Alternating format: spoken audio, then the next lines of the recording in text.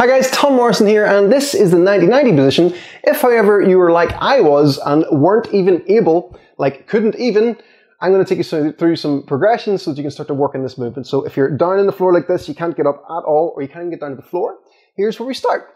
So if you sit on the edge of your bed or your sofa, you can start to work on one hip at a time. So the front leg of the 90-90 is externally rotated. So this is what you can start to work on with the front leg here. So this is trying to replicate that front leg position.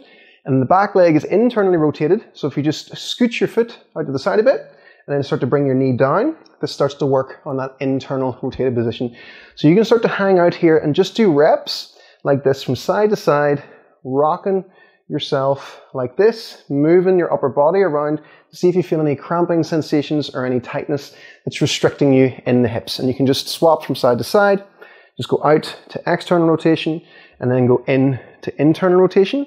If it feels too intense, you just lean back a little bit and you can start to put that little bit of extra pressure on the hip. You're looking to feel this up in and around the hip as you do this, not on the insides or the outsides of the knee as you work on that. So you can spend time going between side to side like this. And when that starts to feel okay, you can then bring yourself to your sofa and give yourself a generous lean so that you're like this. And you can start to then work on seeing where you can sit up to and use your hands to assist you.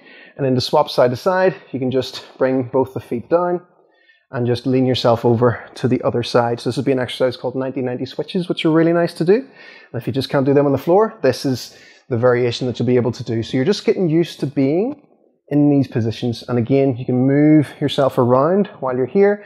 If it feels okay, use your hands to help you come up more upright, to support yourself. And your full goal is to eventually be able to get yourself to a point that you could just sit up like this. So it's called a shin box position. So we change the shin angle and it's slightly easier to sit in. And when you start to get to that, you'll then find you're able to get to the floor and then you'll be able to start playing around with the 90-90 itself and progress your hip mobility from there.